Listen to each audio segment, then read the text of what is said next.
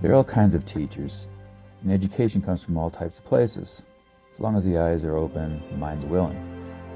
There are places for me personally that I return to over and over because of the promise of solitude and the abundant nature. These are the ingredients, at least for me, for a deeper reflection.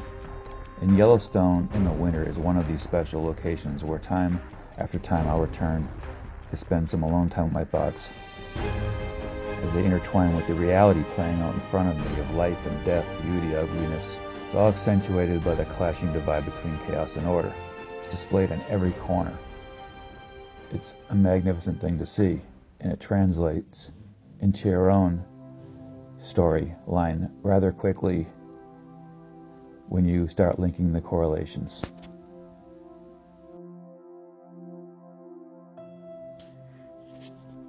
Nature provides true drama played out as it has for millions of years, as it should. I mean, there's neither punishment nor reward, just consequences. It's played out as a graceful dance followed by a lonely song that triggers stories and old memories long forgotten. It's where life and art collide, and the connection to God is painted with the truest of brushstrokes. It's also a reminder that our part in it is essentially a direct link to our own destiny. Where we go from here will be ultimately a direct reflection of how we handle the fragility of our grace. Ultimately, to me, a good friend is someone who gives you the freedom to be your true self.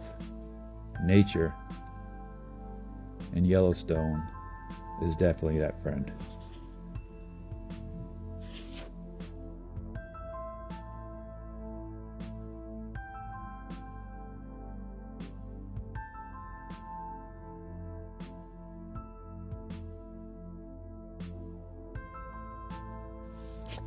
Here, silence delivers the hardest and most honest of internal conflicts that no one can refute.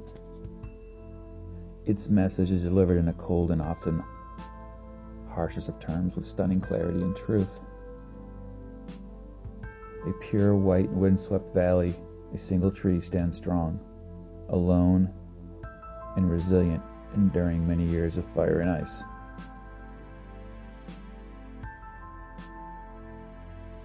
To me, it's a reminder that no matter how old and weathered I get, that there's really no endings, only new beginnings. Old trails and memories are buried and swept away by the windy broom until it's all blanketed by a new beginning.